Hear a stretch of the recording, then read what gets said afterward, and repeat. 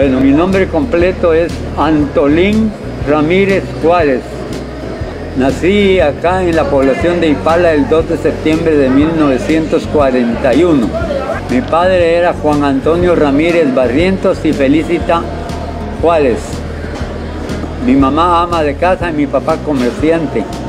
Éramos 13, de los cuales ya han muerto 5.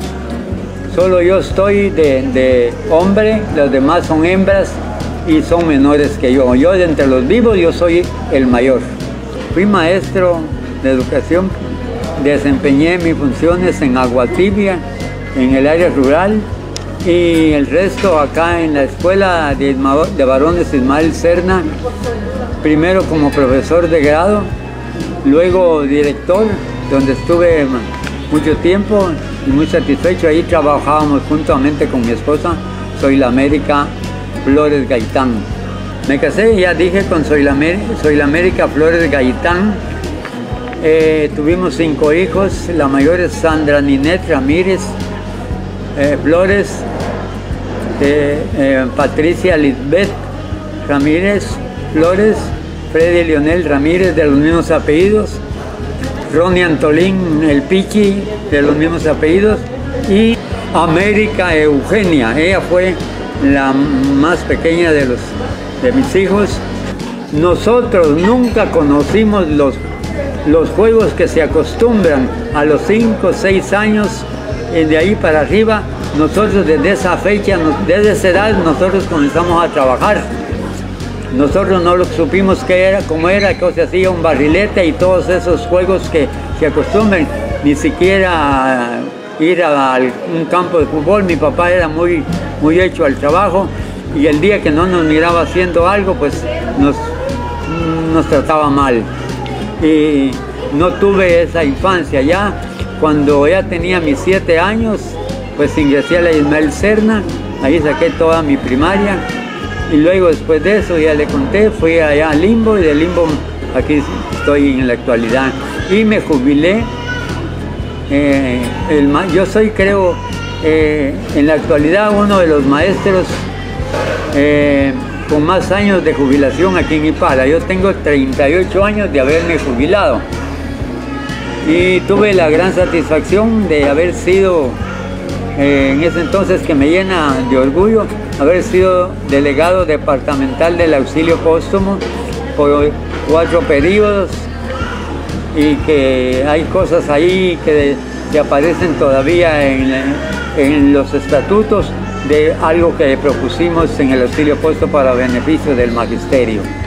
Primero mi mamá y mi papá, que yo nunca los vi sentados, mi papá nunca se sentó a comer y mi mamá nunca dejó de trabajar y nosotros teníamos que hacer las cosas y yo creo que en esa época mi papá era uno de los más fuertes acá en el comercio. Cuando el tren pasaba, que fue la época más gloriosa y beneficiosa de, desarrollo de Ipala.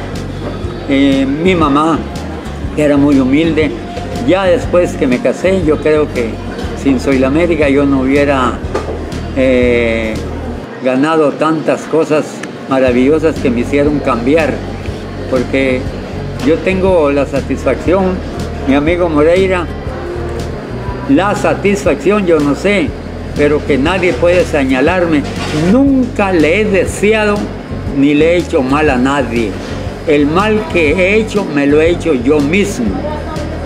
Entonces, si volviera a nacer, yo creo que, y tuviera esta oportunidad, no cometiera, pero me cabe la satisfacción de no desearle ni, ni hacerle daño a nadie. Me voy a morir y mis hijos no van a quedar comprometidos de que yo les voy a dejar enemigos.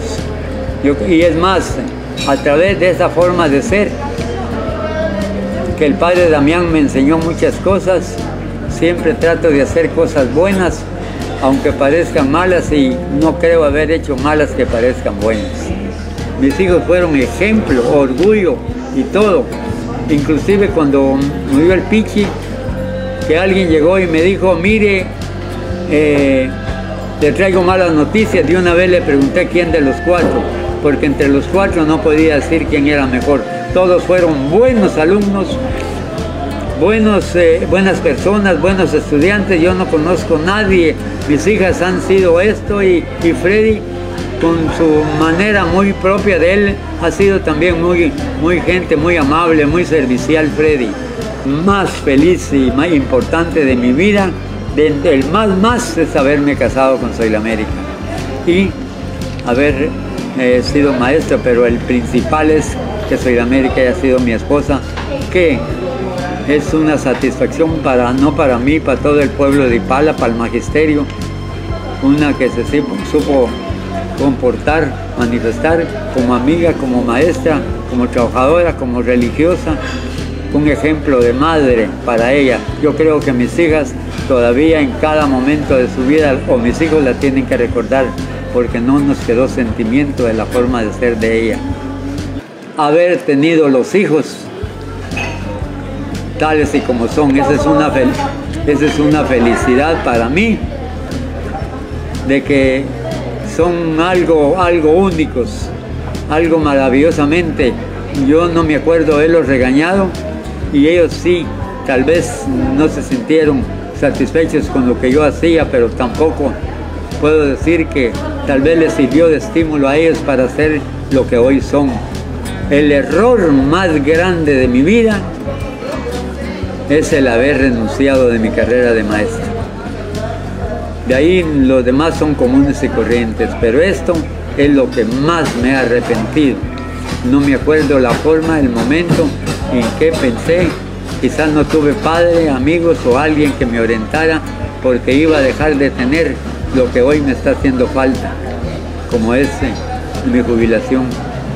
No darse cuenta uno de que cometió errores, errores, pero los errores, por eso dije, los errores fueron de haberme hecho daño yo y por naturaleza le pasé haciendo daño a mis hijos.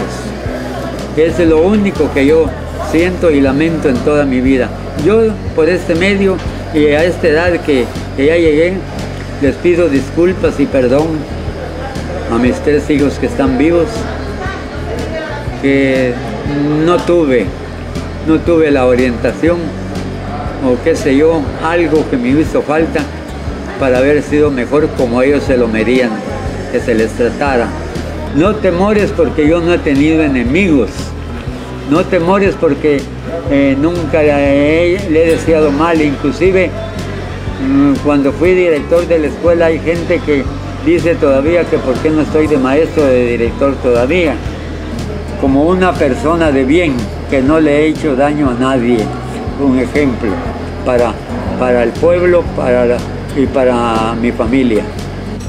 Estas son palabras del padre Damián. Nunca dejen de hacer cosas buenas. Guarden el primer mandamiento. Sean humildes y perdonen cualquier ofensa, porque si no, por gusto rezamos el Padre nuestro.